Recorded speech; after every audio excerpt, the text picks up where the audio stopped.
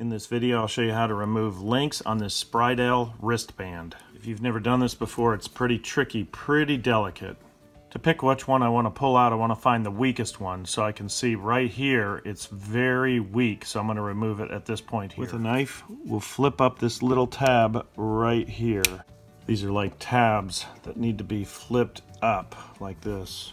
Here we can see the tab is flipped all the way up. We'll do the same thing to the other side. Usually a knife is all you need to be able to flip that tab up. A small pair of pliers can also be pretty helpful to flatten it out. Now that we have the two tabs on the top, we'll need to get the two tabs on the bottom link. Once the bottom tabs are open, you'll disconnect the band. There are these little pins that look like staples in here. Here's a close-up of that metal pin that looks like a staple. There's one of these pins on either side, so we'll remove it. Here's a look at that other pin or staple that's on the other side, and we'll remove it as well. By lifting up these tabs, we're able to remove these little staples. Here's that staple almost completely out. You can see how small and delicate those pins are. I'll are. give a pull and see if there's any weak springs, and I can see one right in here. I'll remove five segments right here. In the same way, we'll lift up that little tab.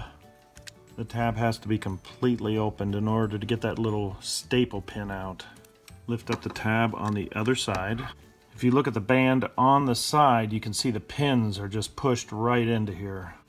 We'll pry up the pin on the bottom so we can remove the little pins. With the bottom tab pulled up, you can see the entire pin on its side. Here's a different angle where you can see it. If I take a pair of pliers, I can pull the pin out just like this. Now the bracelet just comes right apart. With the links removed, we'll be able to take these and put them right back together like this.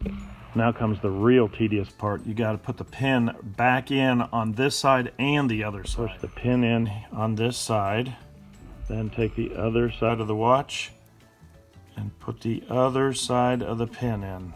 Tweezers can be pretty handy for this. Putting this little pin in is easier said than done. It has to go onto each side, the top and the bottom hole. Make sure the pin doesn't just pop out. I can bend these tabs back down to keep the pin in. A set of small pliers can help bend the tabs down. We'll put the other staple pin in on the other side. To get these pins in, it's really small, really delicate. When you fold down the tabs, these will hold those little staple pins in place.